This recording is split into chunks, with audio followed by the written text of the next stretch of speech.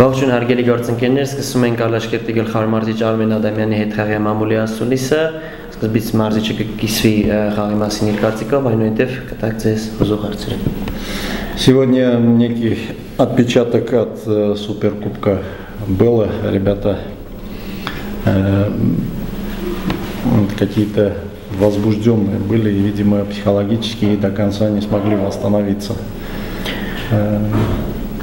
Э, Այսօր որոշակիորեն տեսանք նաև սուպերգավաթի խաղից հետո ազդեցությունը, ինչ որ ոգերվածություն կար տղաների խաղի մեջ եւ միգուցե լիովին չէինք վերականգնվել դեռ այդ խաղից հետո։ Из-за этого совершали не как бы простые ошибки. Но в целом два тайма э, команда хотела создавать, атаковать, делать давление. И она э, принесла свои плоды, тяжело создавать складывающаяся игра для нас, но в итоге мы смогли дожать соперника. Замены очень хорошо сыграли, вышли, освежили, забили по мячу. Общее спасибо ребятам всем. А, они очень большой объем работы делают. Այդ իսկ պատճառով կային որոշակի սխալներ, սակայն մարզիչը նշում է, որ երկու խաղակես կարողացանք մեծ ծավալի աշխատանք կատարել, խաղացին իրենց դերը նաև փոփոխությունները, երկու փոխարինան մտած ֆուտբոլիստներ դարձան գոլի հեղինակ, ընդհանրապես մարզիչը գոհ է կատարած աշխատանքից, մեծ աշխատանք կատարեցինք եւ արժանիորեն կարողացանք բավականին դժվար ընթացող հանդիպումը բեկել մեր օգտին եւ հաղթանակի հասնել, նաև շնորհակալություն ենք հայտնում մեր տղաներին այդ հաղթանակի համար։ Հարցեր ունեք Հա, Հայկ Իշխանյանի մասին ինչ մարզավիճակում է եւ հավաքականի առաջկապալներից առաջ նրան Պայստայինների նստարանին նստեցնելը որքանով է լավ նրա համար եւ Պայստանի հավաքականի համար։ Ինչն է պատճառը որ նստած է Պայստանի նստարանը։ Հայկ Իշխանյանը հիմնական կազմի ֆուտբոլիստ է, ուղղակի ցենտրալնի զաշնիկները իրան գավաթը բաց են թողում, Հայկն ու Տարոնը խաղացել են դրա համար այսօր որոշեցինք, որ հայկը ավելի լավ է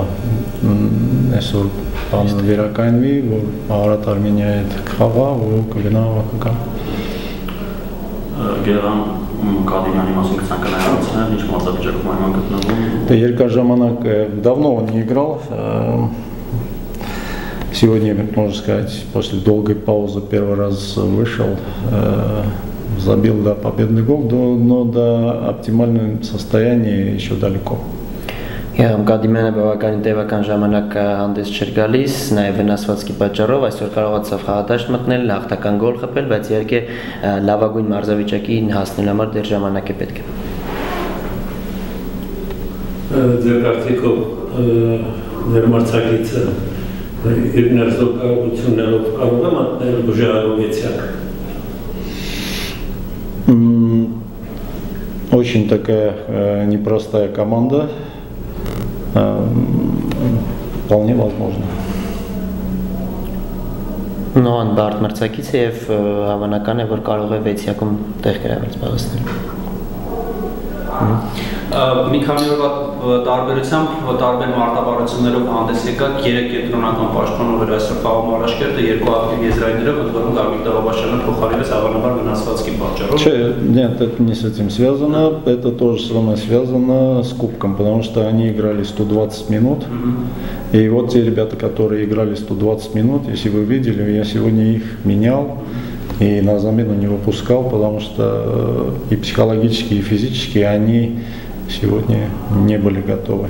Իսկ կարելի ասել, որ 4 պաշտպանով խաղաց այս համար ավելի օկերազատ քան 3 կենտրոնական։ Мы сегодня забили два мяча, играя в 4 защитника. Мы же перестроились.